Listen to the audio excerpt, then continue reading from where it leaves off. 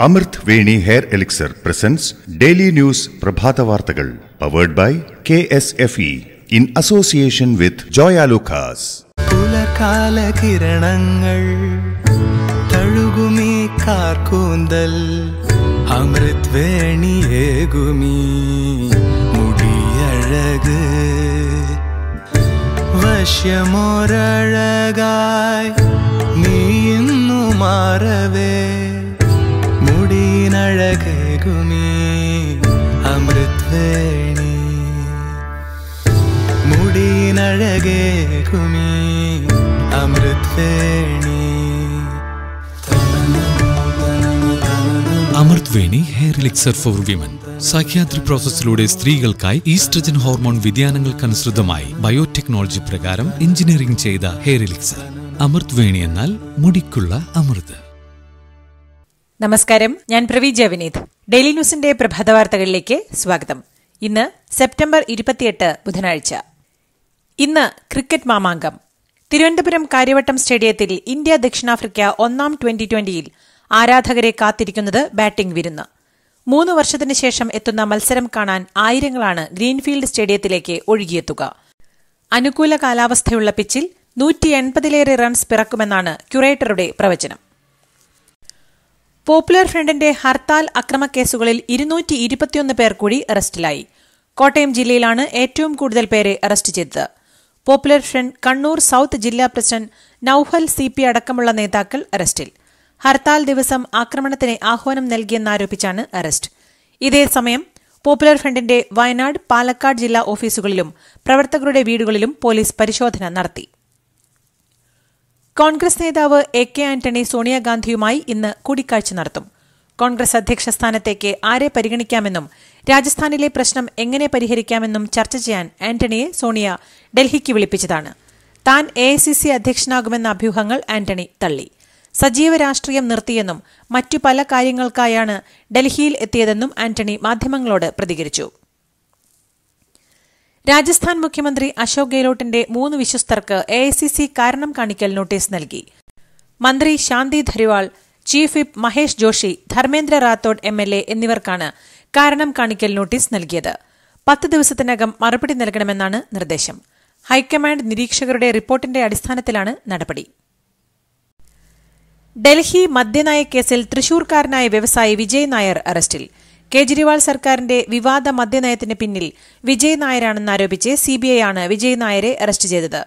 ഉപമുഖ്യമന്ത്രി മനീഷ് സിസോദിയുമായി അടുത്ത ബന്ധമുള്ള വ്യവസായിയാണ് വിജയ് നായർ. പോപ്പുലർ ഫ്രണ്ട് ഹർത്താലിനിടെ ഉണ്ടായ അക്രമങ്ങളിൽ കെ എസ് ആർ ടി സിക്കുണ്ടായ അഞ്ച് കോടി ആറ് ലക്ഷം രൂപയുടെ നഷ്ടം ഹർത്താലിനെ ആഹ്വാനം ചെയ്തവരിൽ നിന്ന് ഈടാക്കണമെന്ന് K S R T C ഹൈക്കോടതിയിൽ. അമ്പത്തിയെട്ട് ബസ്സുകൾ തകർത്തെന്നും പത്ത് ജീവനക്കാർക്ക് പരിക്കേറ്റെന്നും K S R T C. Kannur സർവകലാശാല ചരിത്ര കോൺഗ്രസിനിടെ ഗവർണർ ആരിഫ് മുഹമ്മദ് ഖാന് നേരെ ആക്രമണമുണ്ടായതിനെ കേസെടുത്ത് അന്വേഷിക്കണമെന്ന ഹർജി ഹൈക്കോടതി തള്ളി. അഭിഭാഷകനും ബി ജെ പി ഇന്റലക്ച്വൽ സെല്ലിന്റെ മുൻ കൺവീനറുമായ ടി ജി മോഹൻദാസ് നൽകിയ ഹർജിയാണ് തള്ളിയത്. വിഷയത്തിൽ ഗവർണർക്ക് പരാതിയുണ്ടോ എന്ന് ആരാഞ്ഞ കോടതിയോട് അറിയില്ലെന്നായിരുന്നു ഹർജിക്കാരന്റെ മറുപടി. കേരള സർവകലാശാല വൈസ് ചാൻസലർ നിയമനത്തിന് ഗവർണർ രണ്ടംഗ സെർച്ച് കമ്മിറ്റി രൂപീകരിച്ചത് ചട്ടവിരുദ്ധമായാണെന്ന് വി സി സർവകലാശാല സിൻഡിക്കേറ്റ് യോഗത്തിൽ. സെർച്ച് കമ്മിറ്റിയിലേക്ക് സർവകലാശാല പ്രതിനിധിയെ കണ്ടെത്താൻ സെനറ്റ് യോഗം വിളിച്ചുകൂട്ടാൻ വി സിയും സിൻഡിക്കേറ്റും തീരുമാനം എടുത്തില്ല. കേരള യൂണിവേഴ്സിറ്റി വൈസ് ചാൻസലർക്ക് ഗവർണർ ആരിഫ് മുഹമ്മദ് ഖാൻ മൂന്നാം തവണയും അന്ത്യശാസനം നൽകി. വൈസ് ചാൻസലറെ നിയമിക്കാനുള്ള സെർച്ച് കമ്മിറ്റിയിലേക്ക് യൂണിവേഴ്സിറ്റിയുടെ പ്രതിനിധിയുടെ പേര് ഉടനെ തരണമെന്നാണ് ആവശ്യം. വി സിയുടെ അധികാരങ്ങളും കർത്തവ്യവും ഓർമ്മിപ്പിച്ചുകൊണ്ടാണ് അന്ത്യശാസനം നൽകിയിരിക്കുന്നത്. കെ എസ് ആർ ടി സിയിലെ ഡ്യൂട്ടി പരിഷ്കരണത്തിന് തൊഴിലാളി നേതാക്കളുമായുള്ള മാനേജ്മെന്റിന്റെ ചർച്ച നാളെയും തുടരും.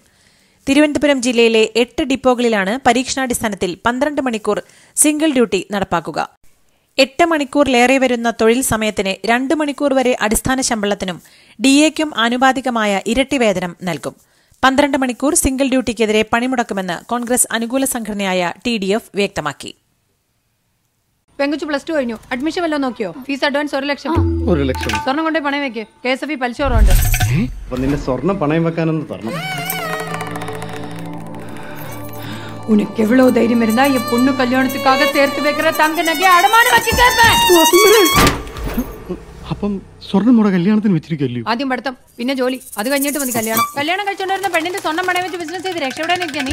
K S F E gold loan മനുഷ്യപ്പറ്റുള്ള ഒരു ഗോൾഡ് ലോൺ കൂടുതൽ തുക കുറഞ്ഞ പലിശ കൂടിയ വേഗത്തിൽ.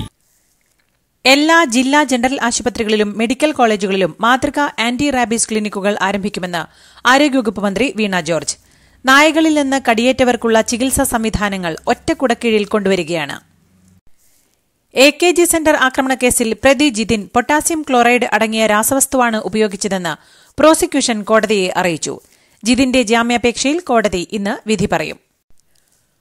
ഓൺലൈൻ മാധ്യമപ്രവർത്തകയെ അപമാനിച്ച കേസിൽ നടൻ ശ്രീനാഥ് ഭാസിയെ സിനിമയിൽ നിന്ന് മാറ്റി നിർത്തുമെന്ന് നിർമ്മാതാക്കളുടെ സംഘടന. ശ്രീനാഥിനെതിരായ കേസിൽ ഒരു തരത്തിലും ഇടപെടില്ലെന്നും നിർമ്മാതാക്കൾ അറിയിച്ചു. പരാതിക്കാരിയായ ഓൺലൈൻ മാധ്യമപ്രവർത്തകയെ വിളിച്ചുവരുത്തി വിശദീകരണം തേടിയ ശേഷമാണ് ശ്രീനാഥ് ഭാസിക്കെതിരെ നിലപാടെടുത്തത്.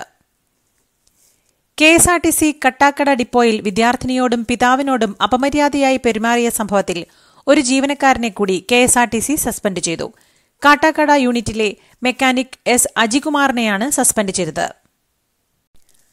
ബീവറേജസ് കോർപ്പറേഷന്റെ മദ്യശാലകൾ മുപ്പതിന് വൈകുന്നേരം ഏഴ് മുതൽ രണ്ട് ദിവസം അടച്ചിടും. അർദ്ധവാർഷിക കണക്കെടുപ്പിനാണ് മദ്യശാലകൾ അടച്ചിടുന്നത്. ഒക്ടോബർ ഒന്ന് ശനിയാഴ്ചയും ഗാന്ധിജയന്തി ദിനമായ ഒക്ടോബർ രണ്ട് ഞായറാഴ്ചയും മദ്യശാലകൾക്ക് അവധിയാണ്. കോഴിക്കോട് മെഡിക്കൽ കോളേജിലെ സുരക്ഷാ ജീവനക്കാരെ ആക്രമിച്ച പ്രതികൾക്കൊപ്പമുള്ള നേതാക്കൾ ഭീഷണിപ്പെടുത്തിയെന്ന സുരക്ഷാ ജീവനക്കാരുടെ അഭിഭാഷകയുടെ പരാതിയിൽ കോഴിക്കോട് ജുഡീഷ്യൽ ഒന്നാം ക്ലാസ് മജിസ്ട്രേറ്റ് അഭിഭാഷകയുടെ മൊഴി രേഖപ്പെടുത്തി.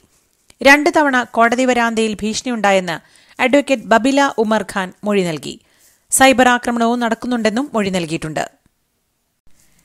എൻ സി പി വനിതാ നേതാവ് ആലീസ് ജോസിയെ മർദ്ദിച്ചതിന് Thomas K Thomas M L എക്കെതിരെ കേസെടുത്തു. കോടതി ഉത്തരവ് പ്രകാരമാണ് ആലപ്പുഴ സൌത്ത് പോലീസ് കേസെടുത്തത്. ആലപ്പുഴ ജില്ലാ president Santhosh Kumar vice president Jobin Perumal സംസ്ഥാന നിർവാഹക സമിതി അംഗങ്ങളായ റഷീദ് രഘുനാഥൻ നായർ എന്നിവരും പ്രതികളാണ്. കാര്യവട്ടം ഗ്രീൻഫീൽഡ് സ്റ്റേഡിയത്തിന്റെ കുടിശ്ശികകൾ അടച്ചു തീർക്കാൻ ആറ് കോടി രൂപ സർക്കാർ അനുവദിച്ചു. വൈദ്യുതി വെള്ളം കോർപ്പറേഷനുള്ള പ്രോപ്പർട്ടി ടാക്സ് എന്നീ ഇനങ്ങളിലായുള്ള കുടിശ്ശിക അടയ്ക്കാനാണ് തുക നൽകുന്നത്. സിനിമയുടെ പ്രൊമോഷനായി കോഴിക്കോട്ടെ സ്വകാര്യ മാളിൽ എത്തിയ നടിമാർക്ക് നേരെ ലൈംഗികാതിക്രമം. അതിക്രമത്തിനിരയായ നടിമാരിൽ ഒരാൾ സമൂഹമാധ്യമത്തിൽ ദുരനുഭവം പങ്കുവച്ചതോടെയാണ് വിഷയം പുറത്തറിഞ്ഞത്. കാട്ടൂർ പഞ്ചായത്ത് പ്രസിഡന്റും ജീവനക്കാരും കള്ളുഷാപ്പിൽ കയറിയ സംഭവത്തിൽ പ്രസിഡന്റിനെതിരെ നടപടിയെടുക്കാത്തതിന് സിപിഎം കാട്ടൂർ ലോക്കൽ കമ്മിറ്റിയിൽ പ്രതിഷേധം. രണ്ട് ലോക്കൽ കമ്മിറ്റി അംഗങ്ങൾ പാർട്ടിയിൽ നിന്ന് രാജിവെച്ചു. മുൻ പഞ്ചായത്ത് പ്രസിഡന്റും ലോക്കൽ കമ്മിറ്റി അംഗവുമായ Manoj Valiyaparambil Ponnanam branch secretary M N Sumithran എന്നിവരാണ് രാജിവെച്ചത്. വയനാട് കാരക്കാമല കോൺവെന്റിൽ അതിക്രമിച്ചു കയറി മുൻ കന്യാസ്ത്രീ ലൂസി കളപ്പുരയെ ഭീഷണിപ്പെടുത്തിയെന്ന പരാതിയിൽ നാട്ടുകാരായ രണ്ടുപേർ അറസ്റ്റിൽ. ഷിജിൻ മനോജ് എന്നിവരെയാണ് ലൂസിയുടെ പരാതിയിൽ അറസ്റ്റ് ചെയ്തത്. വിവാഹങ്ങൾക്ക് ആഭരണങ്ങൾ ഒരു സവിശേഷ ചാരുത നൽകുന്നു. ട്രഡീഷണൽ വിവാഹത്തിന്റെ ആഭരണങ്ങളാകട്ടെ തീം വെഡിങ്ങിനായുള്ള മാച്ചിംഗ് ആഭരണങ്ങളാകട്ടെ. ഓരോ വിവാഹവും സ്പെഷ്യലും അവിസ്മരണീയവുമാക്കുന്നു ആഭരണങ്ങൾ. ചില ആഭരണങ്ങൾ അങ്ങനെയാണ്. അവ ഓർമ്മകളെ പ്രഭാമയമാക്കുന്നു. ഇത്തരം ഓരോ സ്പെഷ്യൽ വിവാഹവും കൂടുതൽ സ്പെഷ്യൽ ആക്കുവാൻ ജോയ് ആലുക്കാസ് കാഴ്ചവെക്കുന്നു. Anugraha bridal jewellery collection Joy Alukkas world's favourite jeweller കേരളത്തിൽ രാഷ്ട്രീയ കൊലപാതകങ്ങൾ നടത്തുന്നത് ആർ എസ് എസും popular ഫ്രണ്ടുമാണെന്ന് C P M polit bureau Keralam ഭീകരതയുടെ ഹോട്ട്സ്പോട്ടാണെന്ന ബി ജെ പി അധ്യക്ഷൻ ജെ പി നഡ്ഡയുടെ ആരോപണം കേരളത്തിലെ സമാധാനം തകർക്കാനുള്ളതാണെന്ന് പോളിറ്റ് ബ്യൂറോ വിമർശിച്ചു. കോൺഗ്രസ് അധ്യക്ഷ സ്ഥാനത്തേക്ക് മത്സരിക്കുന്നതിൽ നിന്ന് രാജസ്ഥാൻ മുഖ്യമന്ത്രി അശോക് ഗെഹ്ലോട്ട് പിന്മാറിയിട്ടില്ലെന്ന് സീനിയർ നേതാക്കൾ. സോണിയാഗാന്ധിയുമായുള്ള കൂടിക്കാഴ്ചയ്ക്ക് ശേഷം തീരുമാനമാകുമെന്നാണ് റിപ്പോർട്ട്. ശിവസേനയുടെ ചിഹ്നം ആർക്ക് നൽകണമെന്ന് തെരഞ്ഞെടുപ്പ് കമ്മീഷന് തീരുമാനിക്കാമെന്ന് സുപ്രീംകോടതി. യഥാർത്ഥ ശിവസേനയെന്ന് ചൂണ്ടിക്കാട്ടി ചിഹ്നത്തിന് ഏക്നാഥ് ഷിൻഡെ വിഭാഗം അവകാശവാദം ഉന്നയിച്ചിരുന്നു. മഹാരാഷ്ട്രയിലെ അധികാരമാറ്റത്തെക്കുറിച്ചുള്ള കേസുകളിൽ സുപ്രീംകോടതി ഭരണഘടനാ ബെഞ്ച് വാദം തുടങ്ങി. തീരുമാനമാകുന്നതുവരെ തെരഞ്ഞെടുപ്പ് കമ്മീഷന്റെ നടപടികൾ സ്റ്റേ ചെയ്യണമെന്ന ഉദ്ധവ് താക്കറെ വിഭാഗത്തിന്റെ അപേക്ഷ സുപ്രീംകോടതി തള്ളി. ഭീകരരെ സഹായിക്കുന്ന പാകിസ്ഥാനെ അമേരിക്ക സഹായിക്കുന്നതിനെതിരായ ഇന്ത്യയുടെ വിമർശനത്തെ തള്ളി അമേരിക്ക. ഇന്ത്യയുമായി മോശം ബന്ധമാണെന്നതിന്റെ പേരിൽ പാകിസ്ഥാനെ എഫ് സിക്സ്റ്റീൻ ഫൈറ്റർ ജെറ്റുകൾ വിൽക്കുന്നത് തടയാനാവില്ലെന്ന് അമേരിക്ക പറഞ്ഞു. അമേരിക്കൻ നടപടിയെ ഇന്ത്യൻ വിദേശകാര്യമന്ത്രി എസ് ജയശങ്കർ വിമർശിച്ചിരുന്നു. ജോർജിയ അതിർത്തി റഷ്യ അടച്ചു. റഷ്യയുടെ റിസർവ് പട്ടാളത്തിലേക്ക് മൂന്ന് ലക്ഷം പേരെ കൂടി ചേർക്കാനുള്ള പദ്ധതി പ്രസിഡന്റ് വ്ളാദിമിർ പുടിൻ പ്രഖ്യാപിച്ചിരിക്കെയാണ് അതിർത്തി അടച്ചത്. നിർബന്ധിച്ച് പട്ടാളത്തിൽ ചേർക്കുമെന്ന് ഭീതിയുള്ള നിരവധി ചെറുപ്പക്കാരാണ് റഷ്യയിൽ നിന്ന് രാജ്യം വിട്ടു പോകാൻ ഒരുങ്ങിയിരിക്കുന്നത്. വിമാനയാത്രയിലും നിയന്ത്രണം ഏർപ്പെടുത്തിയിട്ടുണ്ട്. ലോകം സാമ്പത്തിക മാന്ദ്യത്തിലേക്ക് നീങ്ങുകയാണെന്ന് ലോക വ്യാപാര സംഘടനയുടെ മേധാവി ഗോസി ഒക്കോഞ്ചോ ഇവേല. മാന്ദ്യം മറികടക്കാനുള്ള പദ്ധതികൾ ഇപ്പോൾ തന്നെ ലോകരാജ്യങ്ങൾ ആവിഷ്കരിക്കണം.